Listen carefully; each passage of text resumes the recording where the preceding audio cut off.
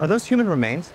You guys have a permit for that? Shut the fuck up, Philip. Cliff, you don't talk to me like that. You want me to beat your ass? I'm just. Fuck out of here, Philip. I will eat your sweater vest for dinner. Always been a fucking douche.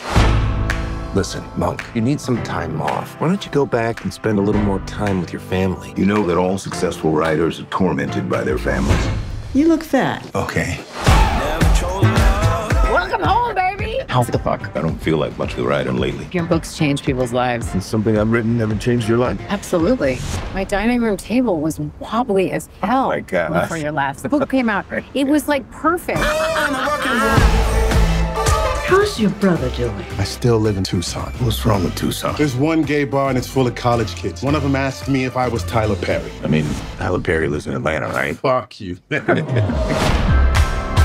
Any news? Editors, they want a black book. They have one. I'm black, and it's my book. Look at what they expect us to write. Would you read an excerpt? Yo, Sharonda, where you be going in a hurry like that? If and you got to know, I was going to the pharmacy.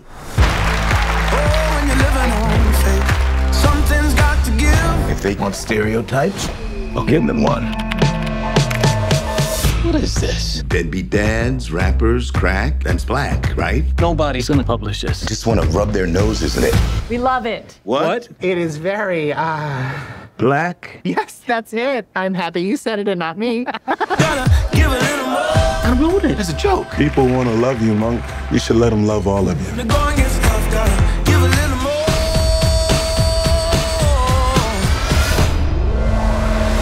We sold the movie rights. Yes! We think it is going to be a bestseller. I'm sure white people on the Hamptons will delight in it.